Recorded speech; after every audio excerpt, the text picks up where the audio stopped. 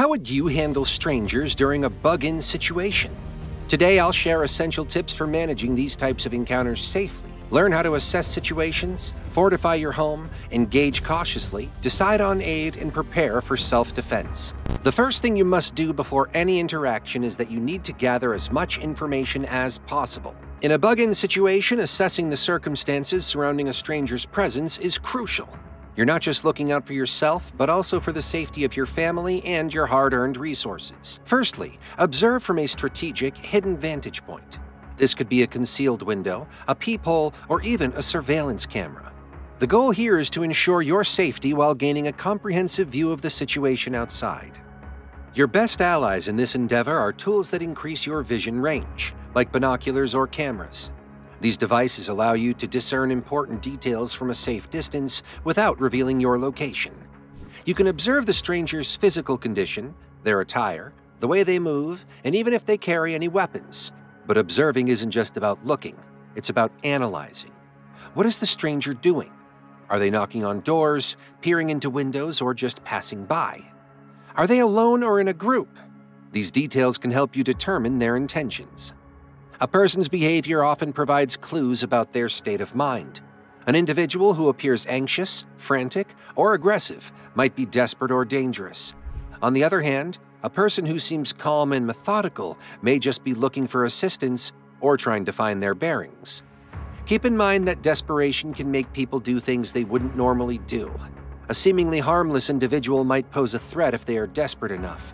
On the flip side, not everyone who stumbles upon your bug-in location is a potential enemy. They could be just as scared and confused as you are in these uncertain times. It's important to remain level-headed and rational. Jumping to conclusions can escalate a situation unnecessarily, and equally, letting your guard down too quickly could put you in harm's way. Remember, knowledge is power. Taking the time to assess can make all the difference. The more information you have, the better you can plan your next move, and in a bug in situation, this could mean the difference between peace and conflict, safety and danger, or even life and death.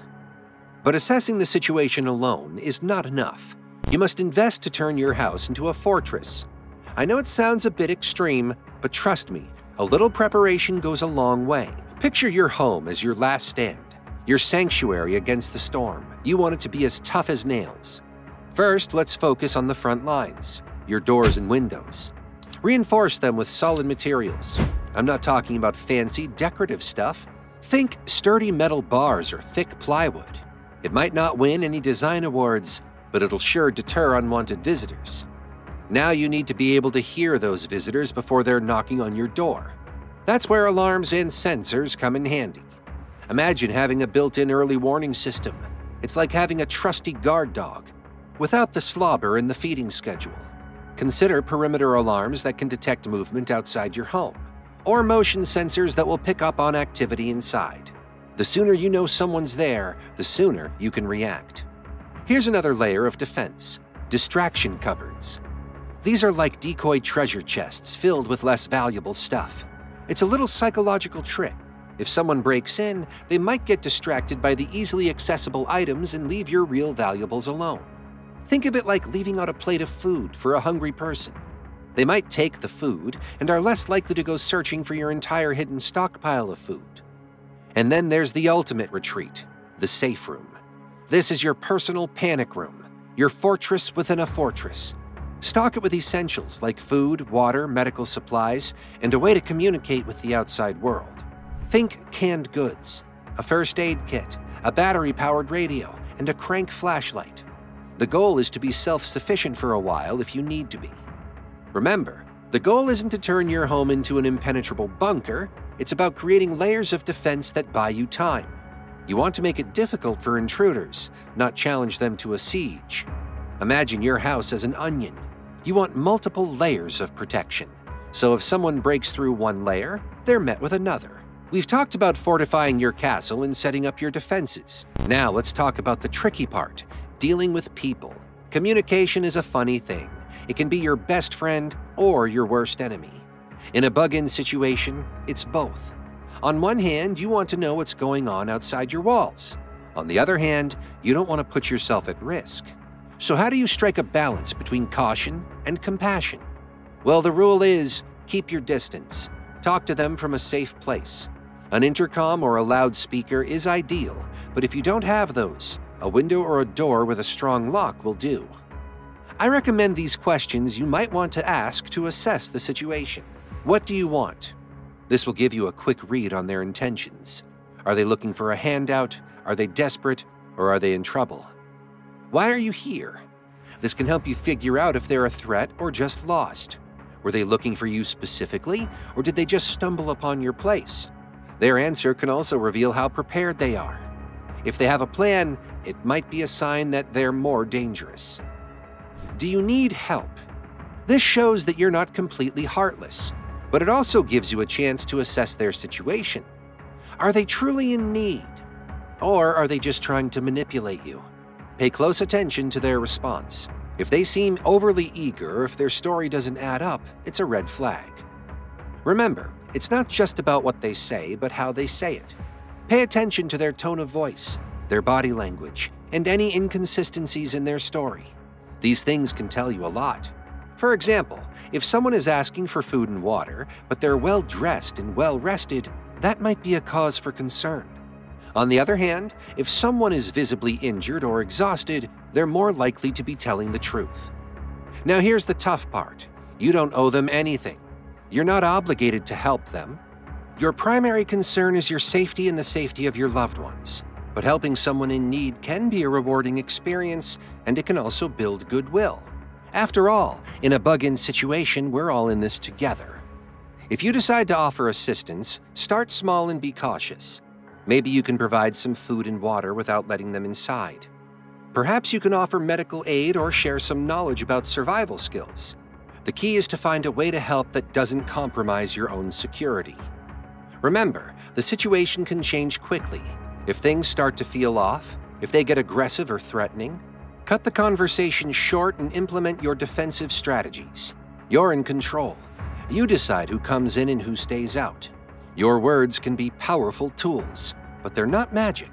Sometimes the best thing to say is nothing at all. But in the right situation, a well timed word or a small act of kindness can make a big difference. Let's talk about the elephant in the room. No, not the one you might have in your backyard if you're really prepping hard. I'm talking about the tough choices you have to make. After you've done your observation, your communication, and your assessment, it's time to decide what to do next.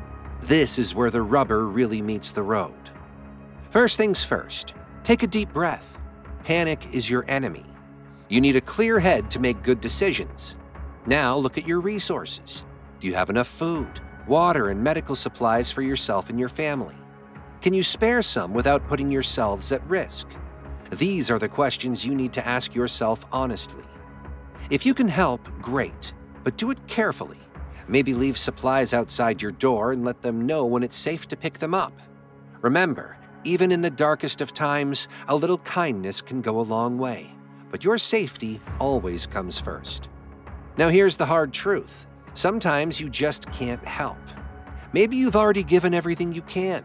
Maybe the situation is too dangerous. Whatever the reason, it's okay to say no. It's okay to protect yourself and your loved ones. Just be firm and polite. Something like, I'm really sorry, but I can't help you right now, should do the trick. Let's also talk about self defense. Nobody wants to think about it, but it's a reality. You have to be prepared for the worst. This doesn't mean you're itching for a fight, it means you're ready to protect yourself and your loved ones if you have to. Consider non lethal options first. A well aimed blast from a hose can be surprisingly effective at deterring someone who's intent on getting into your home. Or a can of pepper spray can be a useful tool for creating distance and stopping an attacker. Even a loud air horn or a barking dog, if you have one, can be enough to scare someone off. But if things escalate, you might need to use more forceful methods. The key is to be prepared, but to avoid violence if possible. If you have time, Consider de escalation tactics. Maybe try talking to the person and calmly explaining that they need to leave. But if they become aggressive or threaten to harm you, you have the right to defend yourself. Let me give you some of the tips I would use for self defense in a bug in situation. First, Be aware of your surroundings and trust your gut. If something feels off, it probably is. Don't be afraid to retreat to a safe room or call for help if you have a way to do so. Second, have a plan. If someone breaks in, know what you're going to do. Will you try to barricade yourself in a room? Will you use a non lethal deterrent? Will you use a firearm as a last resort? Having a plan can help you react quickly and decisively in a stressful situation. One thing I specifically do is that I take self defense classes. Learning some basic self defense techniques can give you the confidence and skills you need to protect yourself. I also practice using self defense tools. If you have pepper spray or a firearm, make sure you know how to use them safely and effectively. Look, I know this is heavy stuff, but it's important to be realistic. The world can be a tough place, especially in a crisis. By being prepared and making smart decisions, you can increase your chances of staying safe. Remember, your well being is your top priority. Remember, defense is your last resort. The goal is always to avoid violence if possible, but if you find yourself in a situation where you have to protect yourself or your loved ones, you need to be ready. First, let's talk about non lethal options. These are your go to tools for creating distance and buying yourself time. Think pepper spray, stun guns, or even a baseball bat. These things can be effective for temporarily incapacitating an attacker, but they're not foolproof. Let's be honest, they're not magic wands. An attacker could be wearing protective gear, or they might be hopped up on adrenaline and power through the pain. That's why it's crucial to be trained in how to use these tools effectively. Practice deploying your pepper spray or using your stun gun in a controlled environment. Get comfortable with them so you can react quickly and decisively in a stressful situation. Let's also talk about firearms. This is a big one, and it's not a decision to be taken lightly. If you decide to own a firearm for self defense, make sure you're fully trained in its use. Safety is paramount. Here's a story from my own experience that highlights the importance of training. I used to be a terrible shot. I mean, truly awful. But after a break in at my friend's house, I decided it was time to learn how to defend myself. I took a gun safety course and then practiced regularly at the range. It wasn't easy, but I stuck with it. And let me tell you, the feeling of confidence that came with knowing how to use a firearm properly was worth every second. But here's the thing owning a gun doesn't make you invincible. It doesn't mean you should go looking for trouble. In fact, the best weapon you have is your brain. De escalation is key. If you can talk your way out of a situation, that's the best possible outcome. Stay calm, be assertive, and try to understand what the other person wants. Sometimes, all they need is to be heard. If you can safely retreat, do it. Put distance between yourself and the threat. Your goal is to survive, not to be a hero. And remember, the best fight is the one you never have to have. The needs of people with disabilities in a survival situation is a topic that often gets overlooked, but it's absolutely crucial. Look, I get it. Being prepared for a crisis is tough for everyone. But if you have a physical challenge, it can feel downright overwhelming. But let me tell you, it's not impossible. In fact, with a little extra planning, you can be just as prepared as anyone else. First, let's talk about early warning systems. These are your first line of defense. Motion sensors, alarms, or even just a good old fashioned dog can alert you to potential trouble. This extra time can be a lifesaver, especially if you need to evacuate or take other precautions. Building a strong support network is also essential. Neighbors, friends, or family members who are willing to help can be a game changer. Don't be afraid to ask for help. Remember, we're all in this together. And finally, let's talk about your emergency plan. This is your roadmap to safety. Think about your specific needs and create a plan that works for you. Practice your plan regularly so it becomes second nature. I know this might sound daunting, but remember, you're not alone. There are resources available to help you, and the more prepared you are, the more confident you'll be. Moving on to the mental game. Your body might be the castle, but your mind is the king. It's the control center, the decision maker, and the ultimate survival tool. Think of your mind as a muscle. The more you work it out, the stronger it gets, And just like your physical body, your mind needs training. You need to prepare it for the unexpected. Imagine this you're sitting in a quiet room and you start to visualize different survival scenarios. You see yourself making tough decisions, staying calm under pressure, and finding creative solutions. This mental rehearsal is like running drills in your mind. It helps you build confidence and problem solving skills. But let's be real when the chips are down, fear and panic are going to knock on your door. They're the ultimate party crashers. That's why you need tools to combat them. Deep breathing, meditation, or even just counting backward from 10 can be lifesavers. They help you stay grounded and focused. Remember, your mind is your greatest asset.